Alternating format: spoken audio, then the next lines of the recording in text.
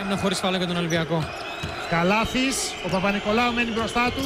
Καλάθης, οι τρίπλες πίσω από την πλάτη, βρίσκει όλη ε, τη διαδρομή ελεύθερη ουσιαστικά αφού πέρασε το μαρκάρισμα του Παπα-Νικολάου και ο Παναθηναϊκός δεν έκανε αυτό που μας έλεγες Γιώργο Καλαθάκη, δεν δοκίμασε σου τριών πόντων, αλλά με Ναι. τις τρίπλες πίσω από την πλάτη. Κοιτάξτε Γιατί εδώ προη- πόσες φορές αλλάζει κατεύθυνση ο Καλάθης και παρά την υπερπροσπάθεια του Παπα-Νικολάου να σταματήσει την μπάλα στο υψηλότερο σημείο, κοιτάξτε τον περνάει μια, δύο και τρεις φορές, η μπάλα πέφτει στο καλάθι και ο Παναθηναϊκός πηγαίνει στα αποδητήρια με ένα συν 7, 46-39, ένα συνολικό.